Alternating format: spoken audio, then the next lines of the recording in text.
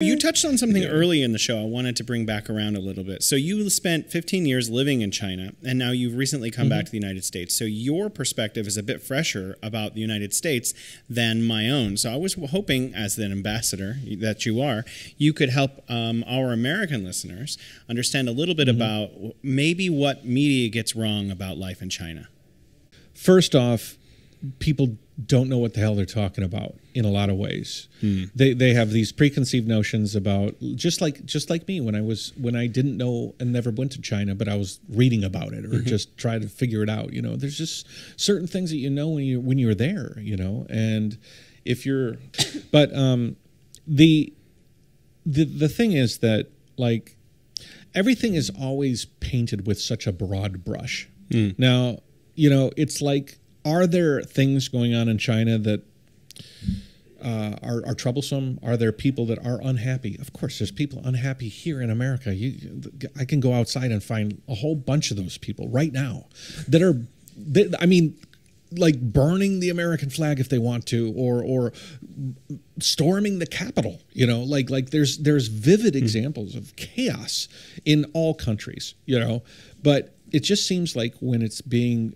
imparted to China, it's this this epic all-encompassing it's it's it's all of this. And and what i would recommend is is is, is for people to like parse things out and say is this is this a, a is is this as broad as what i'm being informed about or is this something that's being uh, extrapolated in a larger way? Because i think so much i, I was in in shanxi uh, province. And i was on a C, i think it was a cgtn trip or uh, uh, CRI trip, I think, and I was uh, I went to a, a, a an area that had there were growing crops here, and um, and and this area was very arid, and there wasn't a lot of opportunity to grow crops. But this this kind of guy came, and he was a the local official, and he was able to work with the locals and understand uh, hydroponics and all of these kind of things. And, and he revolutionized this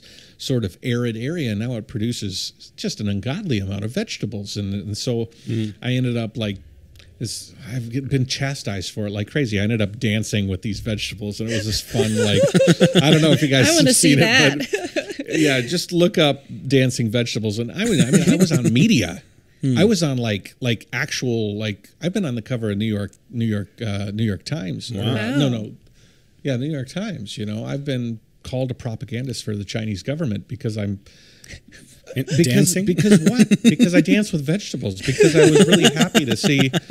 Because I was really happy to see these instances of uh, successful opportunities. That eh, maybe it was the Chinese government, maybe it was the people working with the Chinese government. Maybe, but but if you're not willing to uh, to if you look at all the negative painted with a broad brush and say this is all China, and you look at uh, the good stories and say that's not relevant, then you're what are you what are you doing? You know what i mean? Like like if you got to look at it all and like weigh the value of different countries and different cultures that way if you really want to if, you, if that's your goal is to like judge a Right. country. You judge it by by the, everything not just these little instances. And i was finding you know i was i was always seeing these stories that are like oh my god and like like that one in xi'an that you were talking about earlier like hmm. you know me talking about how people here aren't miserable. Uh, why is that even needed why do you even need to say that you know? But i felt like i did have to because because i know that people's preconceived notions of this country are are in large part negative and i don't think that that that's deserved you know mm. in, in in in most cases you know